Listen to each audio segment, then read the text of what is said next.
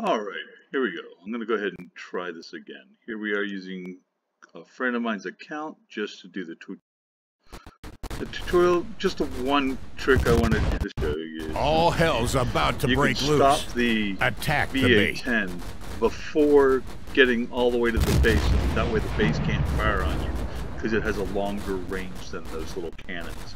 All right, that's basically all I wanted to show you. Just stop it before that. It'll come in handy whenever you go to the next thing. Okay. And, the tutorial is self-explanatory. Click your conquest vehicle. You Capture highlight the the, base. contact, uh, the AP, APC. You click on the little down arrow. That goes right into the garage. And then your training begins right then and there. Okay, it's not very hard. You'll make two uh, concrete, two steel, and then you'll have the ability to make 10 BA-10s or 20 BA-10s.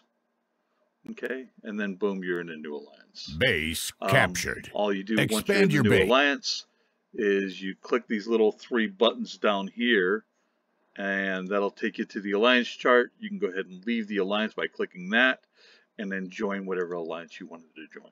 All right, and that's it. Nice and easy.